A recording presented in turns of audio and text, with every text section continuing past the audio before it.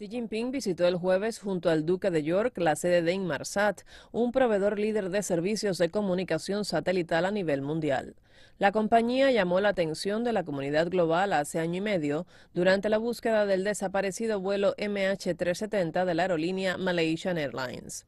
Guiado por el presidente ejecutivo de la firma, Rupert Pierce, Xi Jinping vio modelos de satélites.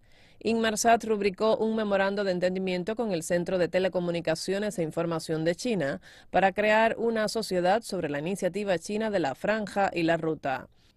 A continuación, el líder chino asistió a la conferencia que dejó inaugurada la reunión anual de los institutos Confucio en el Reino Unido.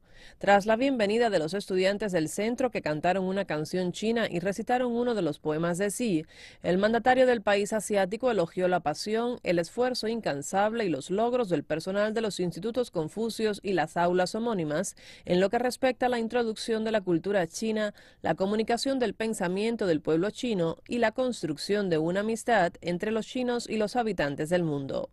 Igualmente aseguró que la esencia de las culturas china y británica ha generado una química fantástica en el modo de pensar y los estilos de vida de ambos países a través de los intercambios entre los pueblos.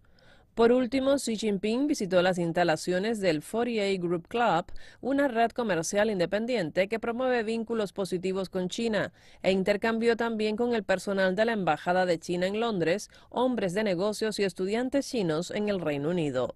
CCTV, en español.